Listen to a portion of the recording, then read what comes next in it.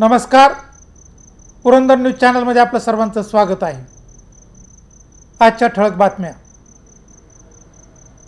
आज पुरंदरमध्ये सहा कोरोना रुग्णांची भर. सासवड तीन जेजुरी एक सोनोरी एक उदाचीवाडी एक असे एकूण सहा व्यक्ती कोरोना पॉझिटिव्ह.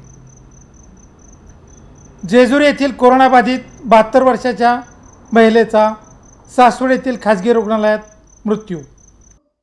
जेजुरीतून पाठवण्यात आलेल्या बासष्टपैकी साठ स्वॅबचे अहवाल आज प्राप्त झालेले आहेत. साठपैकी तेरा पॉझिटिव्ह रुग्ण आले असून सर्व हाय रिस्क कॉन्टॅक्ट आहेत. त्यामध्ये जेजुरी येथील आठ जाधववाडी येथील तीन वनपुरी येथील एक बेलसर येथील एक व्यक्तीचा समावेश आहे. तालुक्यातील एकूण बारा पॉझिटिव्ह आहेत. वनपुरी येथील व्यक्ती हवेली तालुक्यातील रहिवासी आहे तालुक्यातील एकूण रुग्णसंख्या त्यामुळे एकशे पंच्याऐंशी झाली असून एक हवेली तालुक्यातील रहिवासी आहे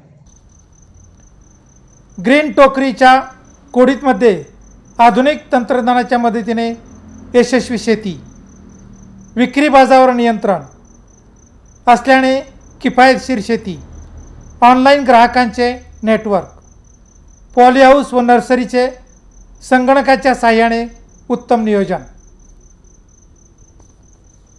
गराडे धरणातून कोडीत चांबळे चांबळी व हिवरे गावांसाठी शेतीसाठीची पाणी योजना पाईपलाईन गेली दीड वर्ष रेखडली.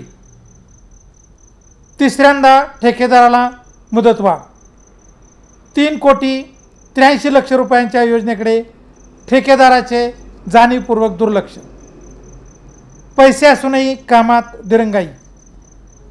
अनेक ठिकाणी पाईपलाईन आवाजवी बेंड केल्याने योजनेचे योजनेचे आयुष्य कमी होणार.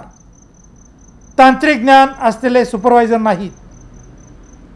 पुरंदरमधील अनेक पाणी योजना ठेकेदारांनी खाल्ल्या व जनता आज देखील पाण्यापासून वंचित.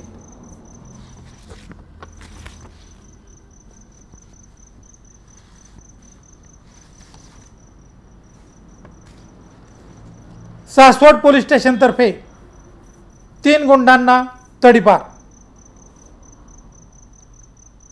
रोटरी डिस्ट्रिक्ट एकतीस एकतीसच्या वतीने प्रांतपाल रश्मिताई कुलकर्णी व सहाय्यक प्रांतपाल राकेश गणबोटे गानबोटे यांच्या पुढाकाराने Rotary Club of Pune Central व रोटरी क्लब पुरंदर यांच्या संयुक्त विद्यमाने सासवडच्या ग्रामीण रुग्णालयास डॉक्टर अस्मिता जगताप यांच्या शुभ हस्ते पी पी किटचे वाटप.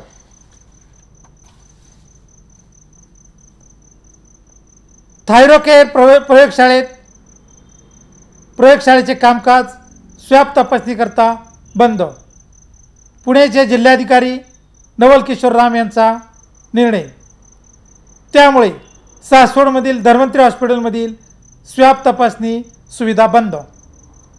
अनेक नागरिकांच्या अहवालाबाबत विश्वासार्हता नसल्याचा आरोप. पुणे व पिंपरी चिंचवड सोमवारपासून दहा दिवस पुन्हा लॉकडाऊन उपमुख्यमंत्री व पालकमंत्री अजितदादा पवार यांचा आदेश. सोमवारी मध्यरात्रीपासून लॉकडाऊनची अंमलबजावणी.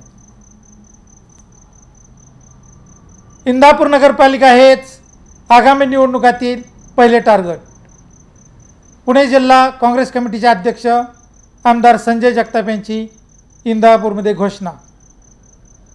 माजी सहकार मंत्री हर्षवर्धन पाटील यांनी दोन हजार एकोणीसच्या विधानसभा निवडणुकीपूर्वी काँग्रेसला रामराम ठोकला व भाजपत प्रवेश केला.